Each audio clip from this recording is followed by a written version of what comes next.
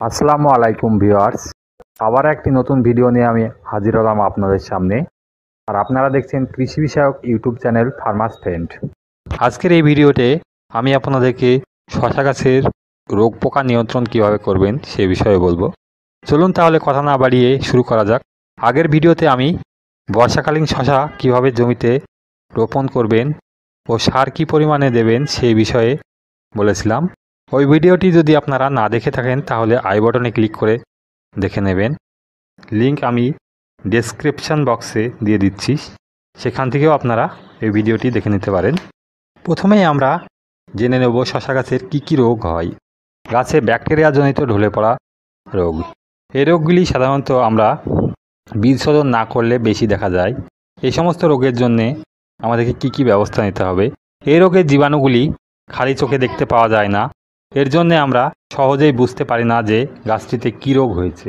কিছু লক্ষণ দেখে আমাদেরকে এর সাবধানতা অবলম্বন করতে হবে। গাছগুলি আস্তে আস্তে হলদে হয়ে ঝিমিয়ে পড়ে, বাড়ন্ত কমে যায়, পরে ঢলে পড়ে মারা যায়। গাছের গোড়ায় টুকরো জলে ভেজালে জল ঘোলা হয় না। কিন্তু যদি আমাদের এটি ছত্রাকের আক্রমণে হতো, তাহলে দেখা যায় যে জল ঘোলা হয়ে যাচ্ছে। এক্ষেত্রে বলে রাখি, ব্যাকটেরিয়ার কারণে যদি ঢলে পড়া রোগটি হয়, আমরা কাণ্ডটাকে জলে ডোবাই, তাহলে জল ঘোলা হবে না। ছত্রাকের কারণে হলে সেই জলটি ঘোলা হয়ে যাবে। আবার ছত্রাকের আক্রমণ হলে কাণ্ড লম্বালম্বিভাবে যদি আমরা চিরি, তাহলে মাঝখানে নলি দেখা দেবে। ফল ও কাণ্ড পচা রোগ। দেখা যায়, শশা গাছে মাঝে মাঝে কাণ্ড পচে যাচ্ছে, নষ্ট হয়ে যাচ্ছে। ফলগুলি নষ্ট হয়ে পড়ে যাচ্ছে। জমিতে যদি জল জমে থাকে তাহলে লতানো সবজি গাছের ক্ষেত্রে এই রোগ যদি দেখা যায় তাহলে বাঁচানো সম্ভব না। এরপরে আসছে শিকড় পচা। গাছগুলি ঝিমিয়ে পড়ে, গাছের গ্রোথ কমে যায়, আস্তে আস্তে মারা যায়। নিমাইটোড রোগ শিকড়গুলি ফুলে যায়, অর্থাৎ শিকড়ে কৃমি হয়। এগুলি আমরা খালি চোখে দেখতে পাই না। গোড়া পাচা রোগের প্রতিকার হিসাবে আমাদেরকে জৈব সার কুড়ি কেজি সঙ্গে টাইকোডার্মা ভিরিডি এক কেজি মিশিয়ে সেই মিশ্রণটিকে তিন দিন রেখে দিয়ে মূল জমিতে গাছের চারিদিক দিয়ে আমরা গোল করে প্রয়োগ করব। এইভাবে আমরা জৈবিকভাবে প্রতিকার করতে পারি। আর রাসায়নিকভাবে আমাদেরকে কার্বন ডাইজিম পঞ্চাশ পার্সেন্ট ডাব্লুপি এক গ্রাম প্রতি লিটার জলে গুলে স্প্রে করতে হবে। ব্যাকটেরিয়াজনিত কারণে যদি এই ঢলে পড়া রোগগুলি হয়, তাহলে কার্বন ডাইজিম পঞ্চাশ পার্সেন্ট ডাব্লুপি এর সঙ্গে প্রতি লিটার জলে আড়াই গ্রাম ও টেরামাইসিস ক্যাপসুল দুশো পঞ্চাশ মিলিগ্রাম আড়াই লিটার জলের সঙ্গে মিশিয়ে স্প্রে করতে হবে। ছত্রাকের কারণে হলে অক্সিক্লোরাইড পঞ্চাশ পার্সেন্ট ডাব্লু পি চার গ্রাম প্রতি লিটার জলে মিশিয়ে স্প্রে করতে হবে। কাণ্ড ও ফল পাচার জন্য আমাদেরকে কিটাজিন আটচল্লিশ পার্সেন্ট ইসি প্রতি লিটার জলে মিশিয়ে অথবা ম্যাঙ্গোজেব পঁচাত্তর পার্সেন্ট আড়াই গ্রাম প্রতি লিটার জলে মিশিয়ে ব্যবহার করতে হবে। নিমাইটোর দেখা দিলে কাঠাপতি আমাদেরকে নিম খোল পঁচিশ কেজি বা প্রতি গাছের গোড়ায় পাঁচ গ্রাম করে কার্বোফিউরান থ্রি দিয়ে দিতে হবে। তরমুজের মতো কালো ক্ষত রোগ। এর লক্ষণগুলি হচ্ছে ফলের গায়ে কালো কালো দাগ বসে যায় এবং সেখানে ক্ষতের সৃষ্টি হয়। পাতাগুলি ঝলসে যায় এর জন্য আমাদেরকে ছত্রাকনাশক, সেই আগের কার্বেন্ডাইজিম পঞ্চাশ পার্সেন্ট ডাব্লুপি, আড়াই গ্রাম প্রতি লিটার জলে গুলে স্প্রে করতে হবে, অথবা ম্যানকোজেব পঁচাত্তর পার্সেন্ট ডাব্লুপি, আড়াই গ্রাম প্রতি লিটার জলে গুলে স্প্রে করতে হবে। সাদা পাউডার রোগ।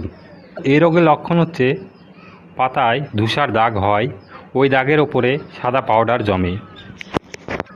এই রোগ প্রতিরোধের জন্য আমাদেরকে হেক্সাকোনা জল পাঁচ পার্সেন্ট ইসি এক মিলি প্রতি লিটার জলে গুলে অথবা প্রপিকোনা জল পঁচিশ পার্সেন্ট ইসি তিন দশমিক সাত পাঁচ মিলি প্রতি লিটার জলে গুলে ব্যবহার করতে হবে। চলুন তাহলে আমরা পোকা সম্পর্কে জেনে নিই। শশা গাছের লাল, কালচে লাল, বাদামি রঙের পূর্ণাঙ্গ পোকা দেখতে পাওয়া যায়। এই পোকাগুলি কচি পাতা ও ফুল খেয়ে গাছগুলিকে নষ্ট করে দেয়। এরা মাটির ভেতরে কাণ্ড ও শেকড় মাটি স্পর্শ করা ফলগুলিকে খেয়ে নষ্ট করে দেয়। এরপরে আমরা দেখতে পাই বাঘা বা পাতা ঝাঁঝরা করা পোকা। এই পোকাগুলি সবুজ অংশ খেয়ে পাতাগুলিকে ঝাঁঝরা করে দেয়, গাছের খাদ্য তৈরিতে বাধা দেয়। এদেরকে নিয়ন্ত্রণ করার জন্য আমাদেরকে কার্বালিন পঞ্চাশ পার্সেন্ট ডাব্লুপি আড়াই গ্রাম প্রতি লিটার জলে গুলে বা কুইনাল ফস পঁচিশ পার্সেন্ট ইসি দুই মিলি প্রতি লিটার জলে গুলে স্প্রে করতে হবে। পোকা বা ম্যাপ পোকা।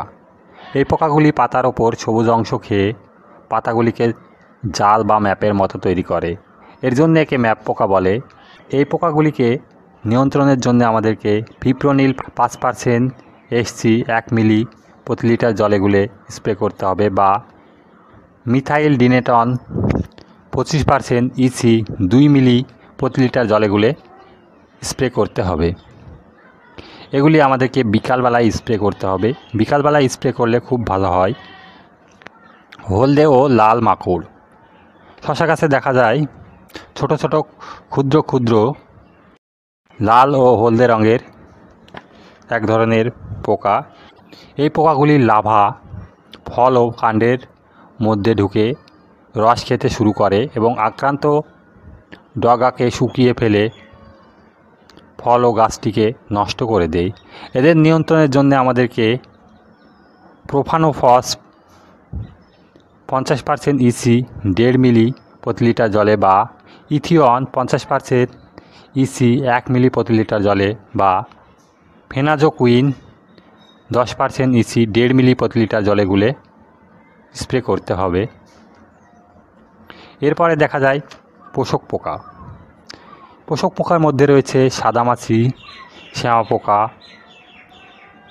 প্রভৃতি। এই পোকাগুলি আক্রান্ত গাছের রস খেয়ে গাছগুলিকে ফ্যাকাশে করে দেয়। এরা বিভিন্ন রোগের ভাইরাস বয়ে নিয়ে আসে এক গাছ থেকে অন্য গাছে।